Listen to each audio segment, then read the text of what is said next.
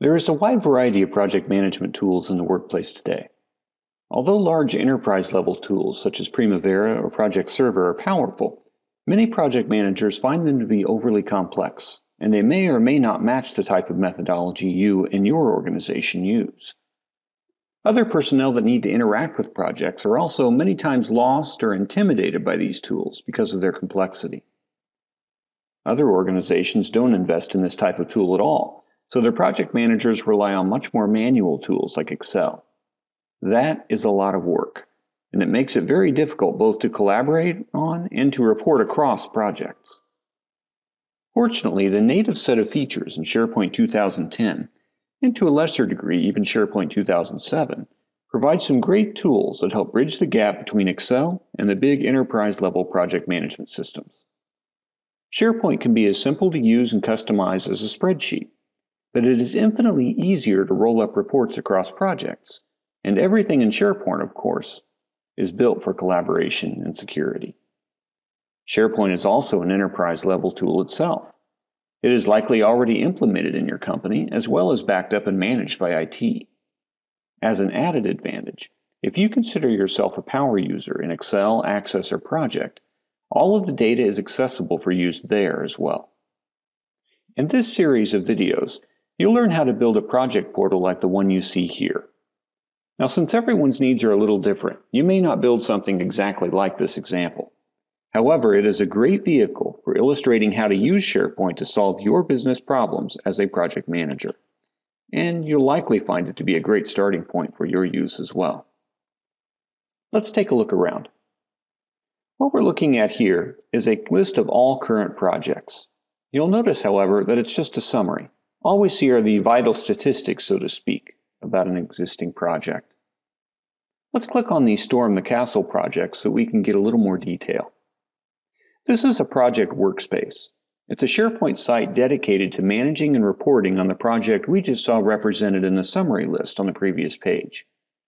The home page here is again meant as kind of a summary and a communication tool for the project team, and anyone else for that matter who may want a little more detail about what's going on.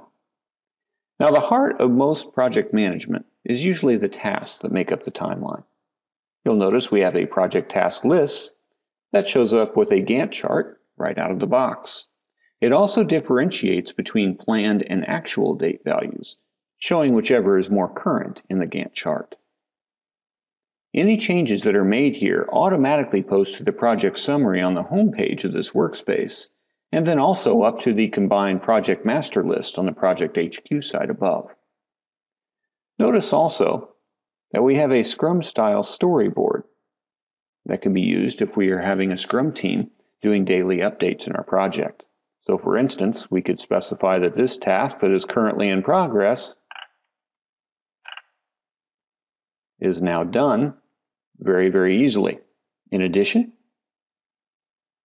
we have in our project task list a view called Sprint Planning that would help that Scrum team to put together and plan and start their next sprint.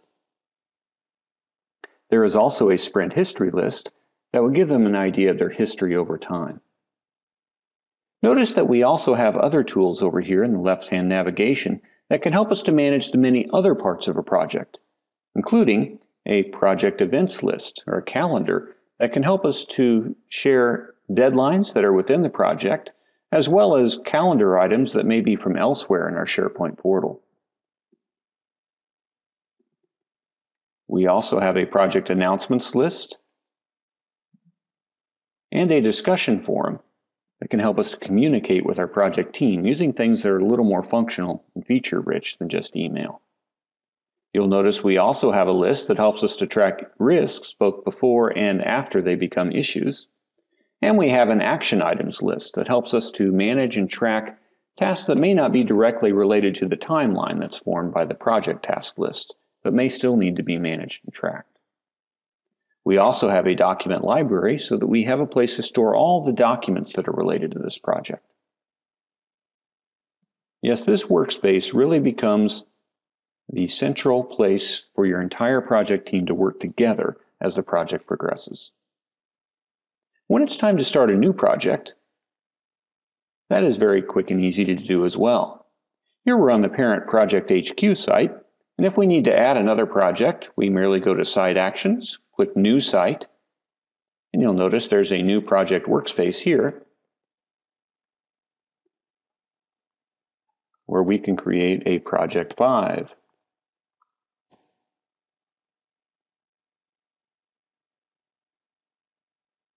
Make a couple of navigation choices.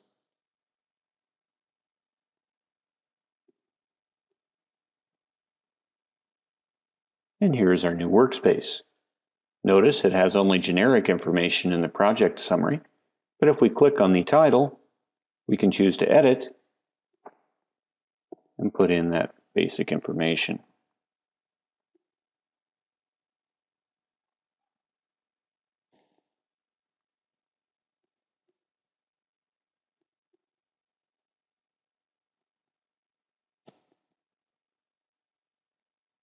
We save our changes, you'll notice it shows up here. This new project also automatically rolls up to our project master list in the parent site above. Notice Project 5. With a little imagination and a basic understanding of SharePoint, you can create a project portal with little to no cost that provides most or all of the elements you need to manage a project. This video series is meant to help you with those two elements, the imagination and the SharePoint understanding. If you've been using the other videos offered by SharePointVideos.com, you've probably gained a good understanding of individual tools like SharePoint Designer, DataView Web Parts, workflows, and so on. The following videos are full of examples that will help you learn how to put those tools together, to connect the dots, so to speak, and solve the specific problems you have as a project manager and we'll probably teach you a few new SharePoint tricks along the way as well. The example site is built completely using SharePoint Foundation and SharePoint Designer 2010, both tools that are absolutely free. If you are using one of the purchased editions of SharePoint, there is even more you can do with InfoPath form services, Excel services, Access services, charting web parts, and so forth. So dig in and let us help you connect the dots to solve your problems.